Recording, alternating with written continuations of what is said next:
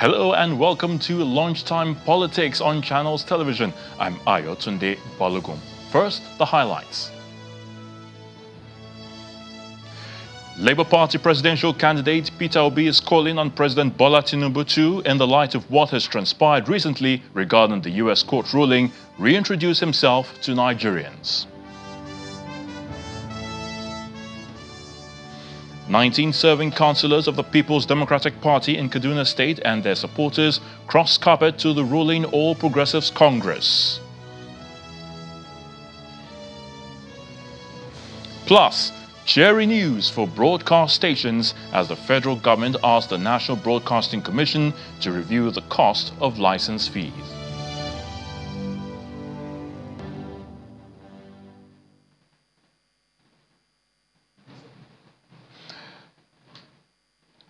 Welcome again to Lunchtime Politics.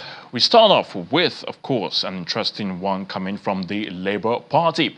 Well, the party's presidential candidate in the 2023 general elections, Mr. Peter Obi, has called on President Bola Tinubu to reintroduce himself to Nigerians. Now, speaking in light of what has transpired recently, where a United States court ordered the Chicago State University to release the president's academic records at the request of the People's Democratic Party's presidential candidate Atiku Abubakar. Addressing a press conference in Abuja today, Mr. Peter Obi asked President Bola Tinubu to again tell Nigerians the schools he attended and if he participated in the one-year National Youth Service Corps scheme. He also wants him to clarify if he indeed changed his name at any time and saved the country from what he called an international embarrassment of identity crisis. Mr. Peter Obi further maintained that having occupied the highest political office in the country, President Bola Tinubu no longer has a right to any privacy regarding his identity.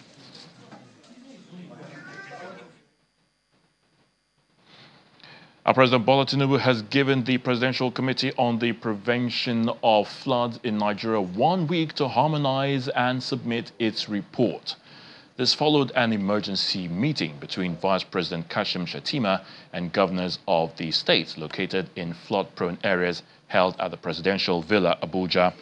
The meeting had in attendance Governors Yahaya Bello of Kogi State, who is also the chairman of the committee, Governor Bala Mohammed of Bauchi State, Governor Francis Nwifuru of Ebonyi State, and Governor Bassey Otu of Cross River State, among others.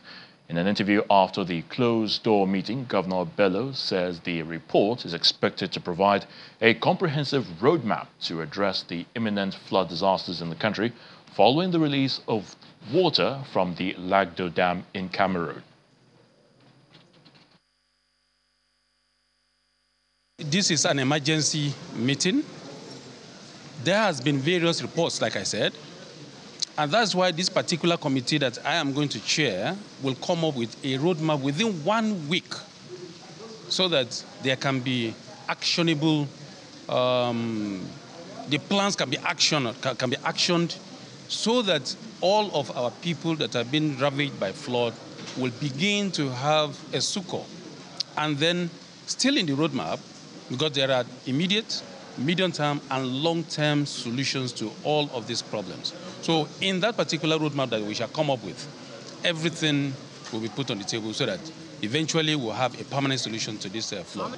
This is following the flood of the 2021 when the then Humanitarian Affairs and Social Development Minister, Hajia Saidia Farouk, direct, was directed by, to, by the establishment of the National Flood Emergency and Preparedness and Response Plan to ensure that we all come together, harmonize various reports. Remember, there's, uh, there are various reports and committees. So we need to harmonize all of these reports now, come up with one roadmap, and then address these various uh, challenges. The Lagos State Governor Babajide Sanwo-Olu has called on the executive and the legislature to develop the blue economy in Nigeria by paying greater attention to the sector. In a statement signed by the Chief Press Secretary, Gboyega Akosile, Governor Sanwo-Olu said all hands must be on deck to address, aggressively reduce the bottlenecks for businesses to thrive in Lagos State, especially in the blue economy sector.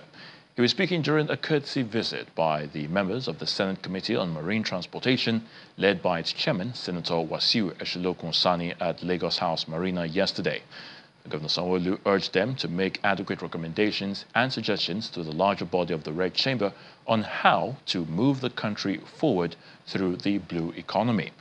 On this part, Senator Eshinlokun Sani said Lagos is indeed critical to the blue economy, noting that the Senate Committee on Marine Transport is visiting because 70% of the activities in the sector take place in the state.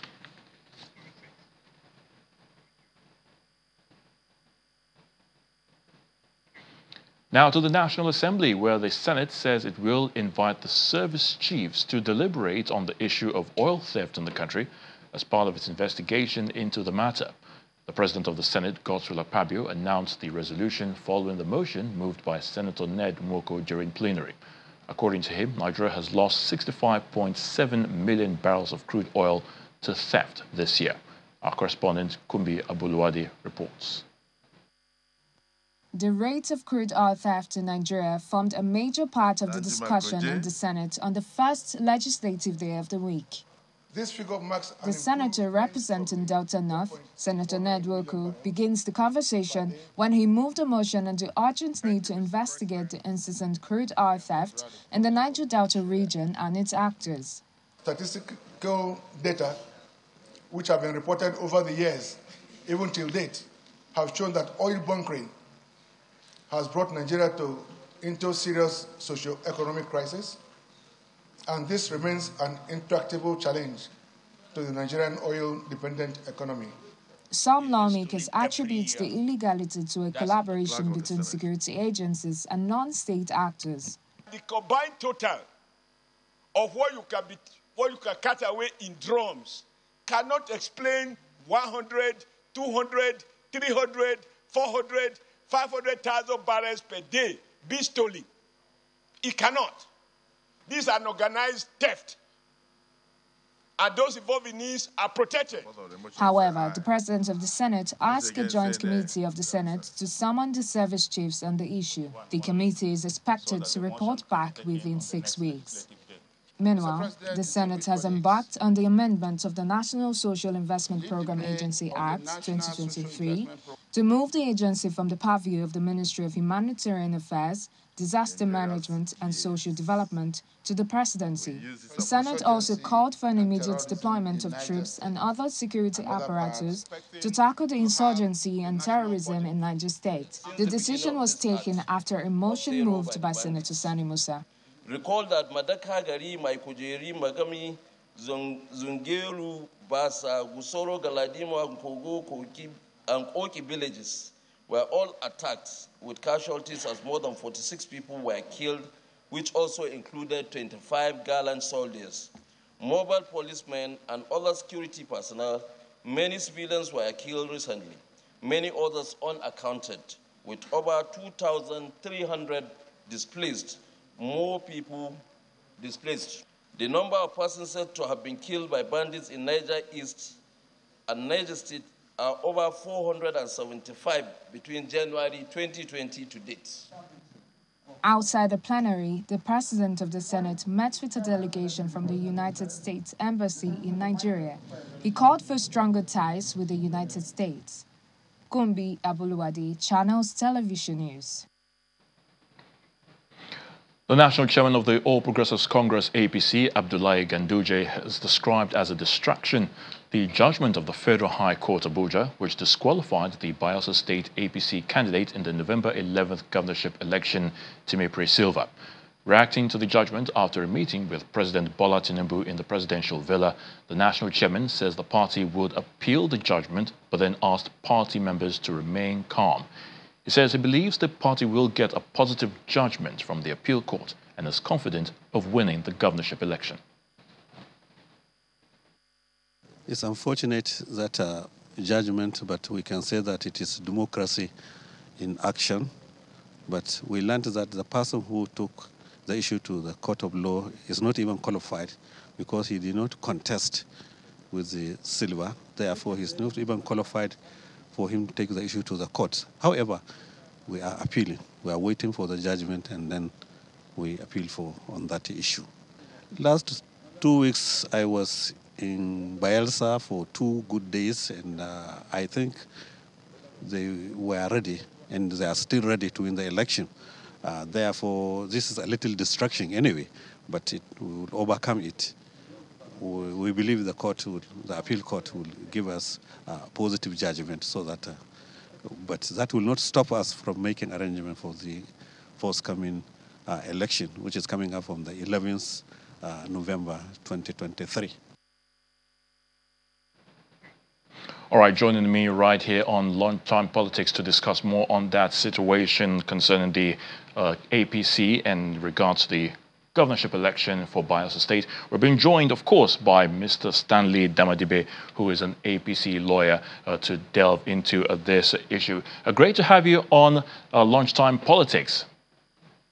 Uh, it's my pleasure to be here. Good afternoon. Yes, good afternoon. Thank you for joining us. Uh, let's start by looking at this whole situation. I mean, what's your view concerning the judgment that disqualified the APC uh, governorship candidate, Mr. Timi Sylva, in Bayelsa State? Yes.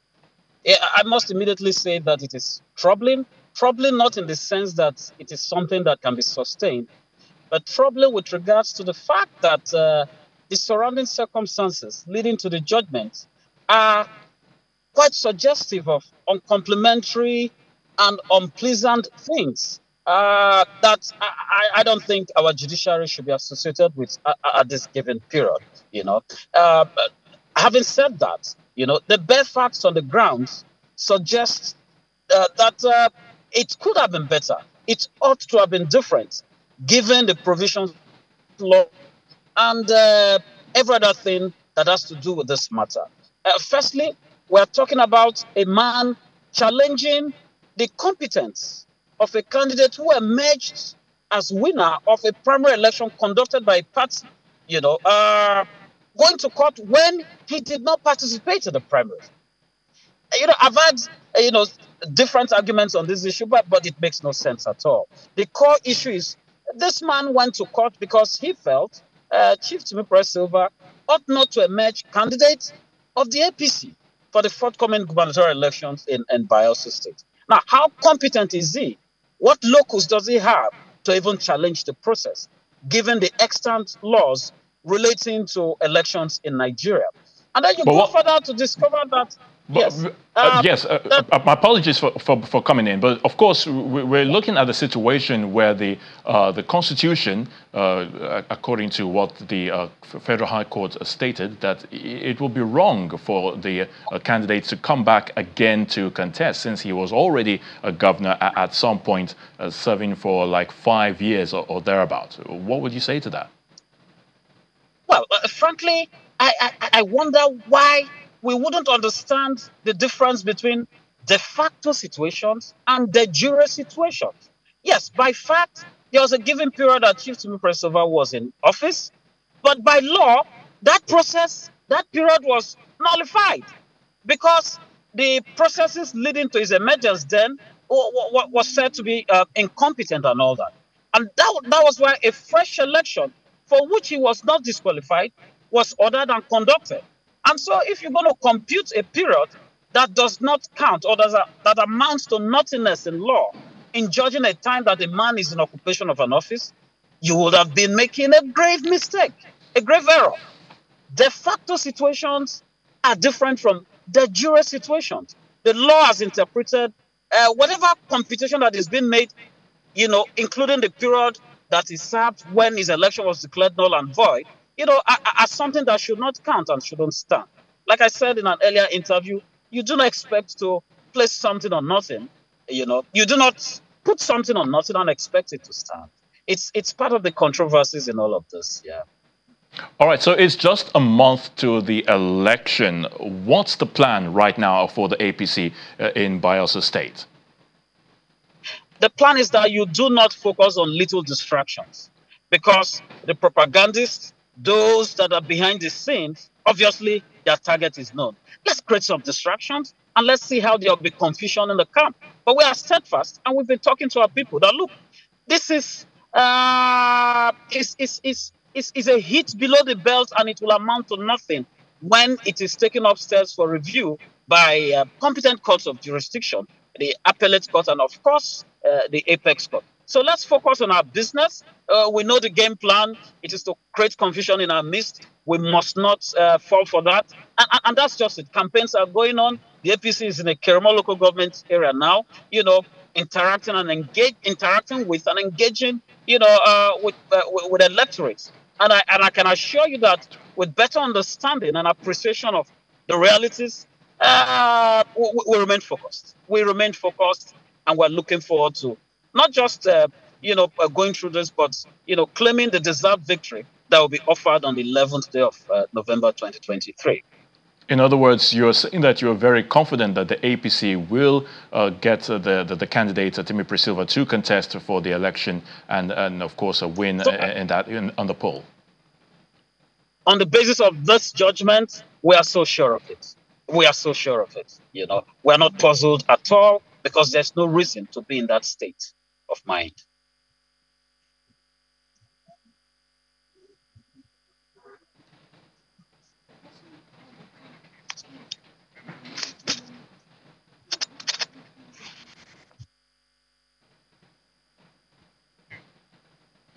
All right, so of course, uh, that will definitely be something we'll be taking a serious look at. Uh, I was going to ask you again, uh, Mr. Stanley, uh, that the person who yeah. filed uh, the, the, this uh, this case is also an A APC member. How would you, or how do you feel about this?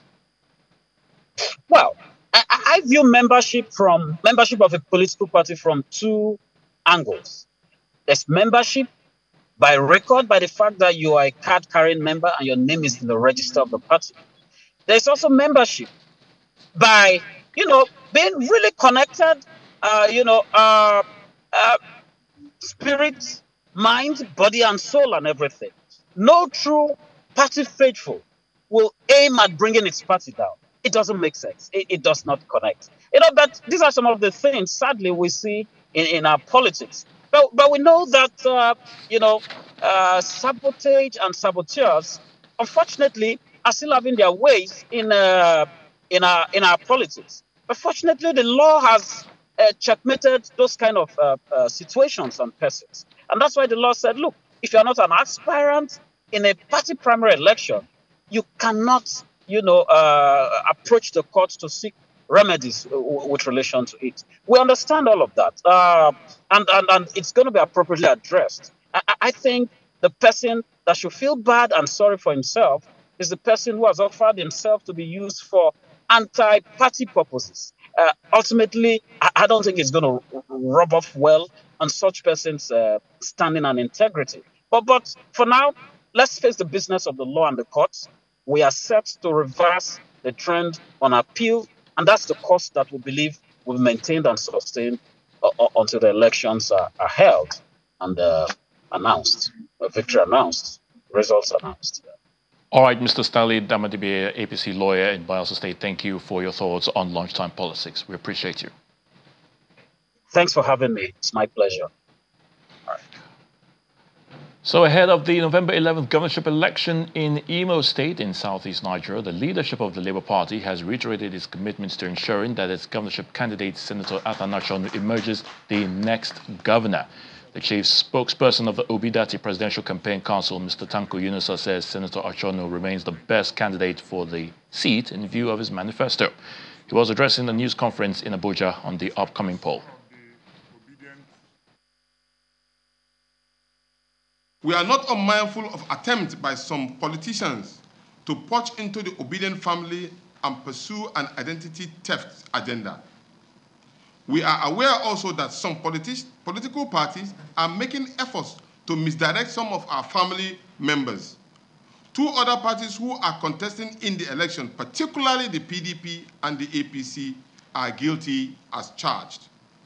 We are aware that the intimidating activities of the Obidient all over have driven fears into them and thought of confronting these fellow, fellows of the Peter Obi in the November 11 election has thrown spans, spanners into their minds.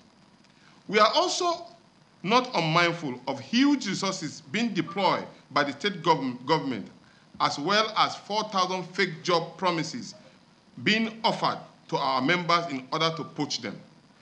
As lovable as these offers and promises are, the Imo youth are, are much more intelligent and well informed.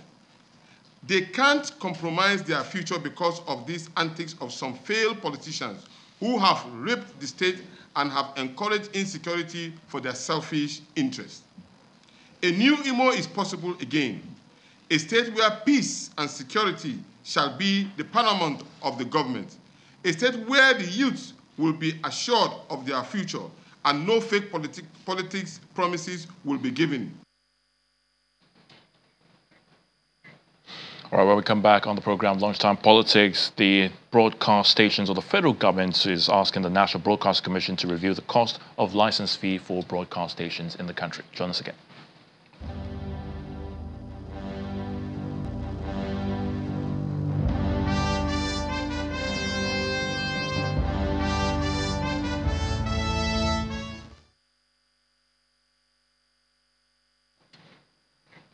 Welcome back. It's still lunchtime politics on channels television.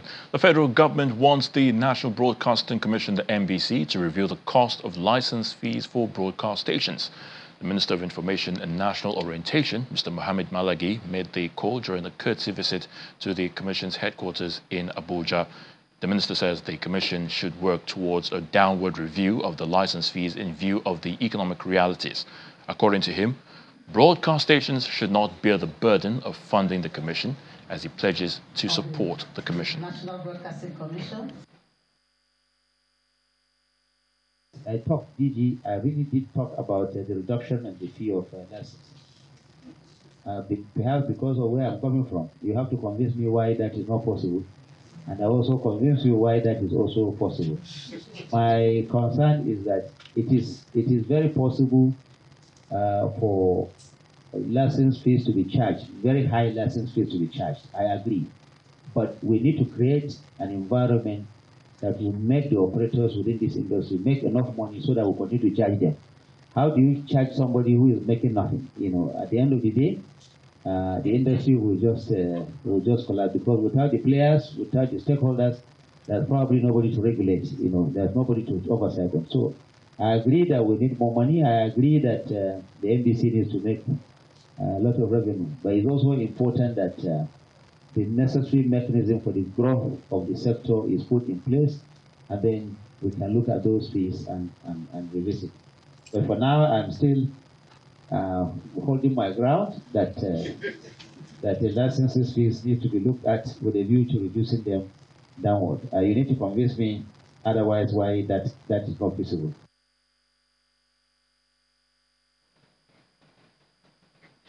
19 serving councillors of the People's Democratic Party in the 23 local government areas of Kaduna State and their supporters have decamped to the ruling All Progressives Congress. Announcing their resignation from the PDP at a news conference, the decampees say they decided to join the APC due to the type of purposeful leadership that has been provided by Governor Uba Sani in piloting the affairs of Kaduna since his assumption into office. The DKMPs also appealed to the PDP governorship candidate in the 2023 general election, Isa Ashiru, to withdraw his suit challenging the election of Governor Sani at the appeal court and join hands with the governor to move Kaduna State forward. I came here as the organizing secretary to witness this uh, declaration by the 19 elected councillors from various 23 local government and their supporters. Therefore, I want to assure you that by God's grace, will, APC will carry everybody along. And then I want to assure you that Uba Sani is a good man. Definitely Uba Sani will transform Kaduna State by God's grace. Since 2007, I'm not recognized. And all my effort is done in vain.